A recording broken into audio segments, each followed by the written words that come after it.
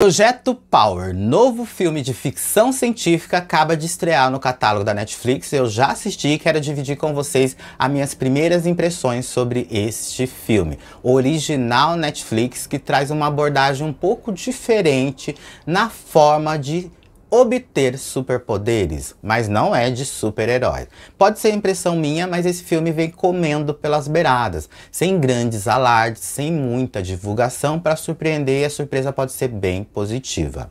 O elenco desse filme é estelar, contando com James Fox, o Joseph Gordon, a Monique Fishback e o nosso talentoso Rodrigo Santoro. Eu torço muito para os nossos brasileiros que se envolvem em projetos grandes internacionais e eles tem talento sim. O Rodrigo Santoro atua muito bem e a participação dele é bem gostosa de se ver neste filme Projeto Power. A dupla de diretores escolhido para conduzir esse projeto foi o Henry e o Ariel, e eles trabalham juntos há um bom tempo. Eles são responsáveis por Atividade Paranormal 3 e 4, pelo filme Never Jogo Sem Regra e por um filme de terror chamado Viral, que tem tudo a ver com essa época de pandemia que nós estamos vivendo. Se você não assistiu esse filme ainda, é do gênero do terror, mas é bem pertinente porque aborda um surto viral em uma cidade e as pessoas precisam entrar em quarentena. Então, vale essa dica aqui no vídeo de hoje também. Projeto Power pode ser muito surpreendente em vários momentos, mas será se vale a pena? Vem comigo!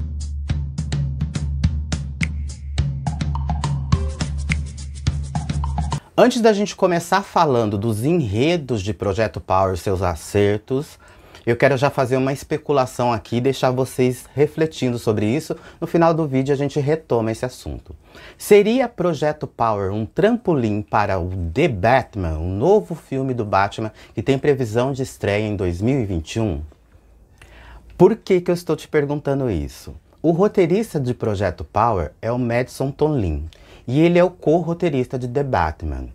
Ele é um nome que não é muito conhecido, gerou muitas especulações. As gravações do debate mas estava suspensa, agora retomaram. E neste filme Projeto Power a gente vê várias referências do universo do Batman, desde nome de personagem a situações que nos leva a crer ou pelo menos fazer essas espe especulações de elementos deste universo, ou possível pista do que virá no filme The Batman. A construção de Projeto Power gira em torno do projeto Gênese, que é o projeto não governamental secreto de desenvolver poderes nos seres humanos. Começa com experimentos em pessoas do exército e de certa forma isso vai parar nas ruas, porque eles estão testando nas pessoas. Então ela levanta a questão de tráfico de droga a princípio, mas a gente descobre no meio do filme que é tudo experimento querendo desenvolver as capacidades dos seres humanos.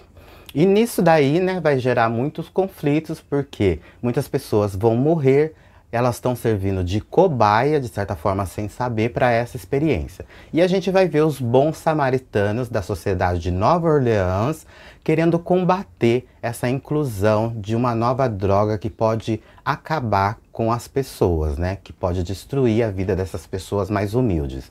Como sempre, os, as pessoas que são testadas são sempre os pobres, os menos favorecidos. E o filme traça essa perspectiva.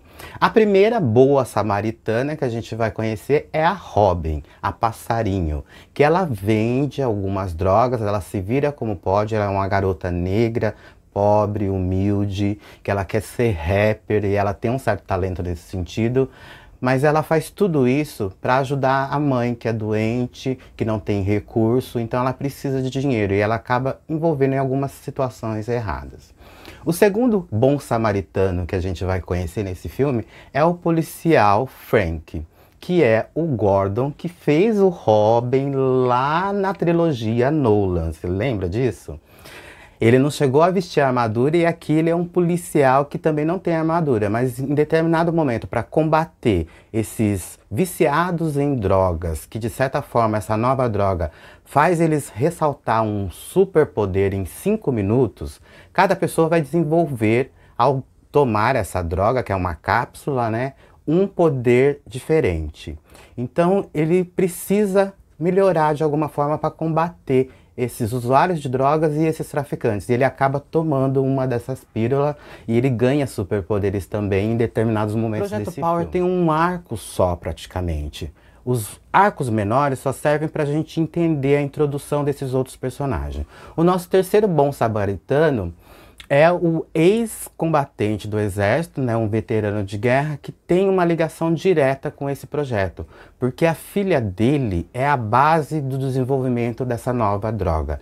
Ela tem no gênesis dela uma capacidade de mutação, vamos dizer assim, e esse laboratório que detém a filha dele, que sequestrou a filha dele, usa ela para fazer essas várias pílulas que desenvolvem nos usuários esses superpoderes. E esses personagens vão se unir em determinado momento e vai formar e é essa é muito aliança. bacana a gente perceber os encontros que vão acontecendo entre a Rob, o Art, que é esse ex do exército, e o policial Franklin. A Rob e o Art vai ter até um momento que eles falam no diálogo, o roteiro acerta em vários momentos aqui, em ter um alívio cômico e uma dramaticidade na medida para não ser tão dramático, mas a gente entender a proposta das dificuldades dos personagens, a Rob fala pro Art: Ah, pensei que a gente era o Batman e Robin. Aí ele vira para ela e fala assim: Isso daqui é a vida real, não é filme, garota. É muito bacana. E já falando nessa Nesse diálogo em específico, a gente percebe que o filme vai dando esse tom de entregar elementos. Em determinado momento, antes do policial Franklin tomar uma pílula para combater um vilão que aparece, um ladrão invisível, aparece o distintivo dele. E ali no distintivo a gente vê claramente o número 820.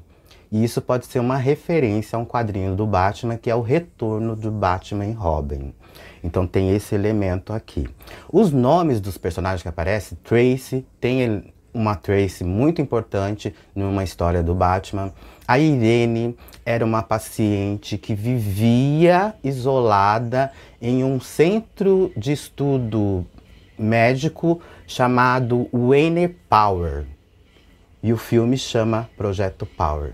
Você percebe que tem vários elementos sendo introduzidos.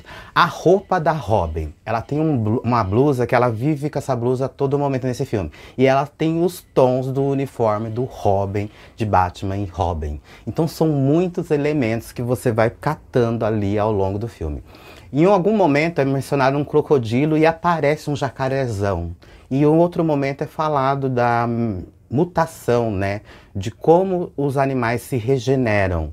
E a gente percebe que o Batman tem um grande vilão, que é o Homem Crocodilo também.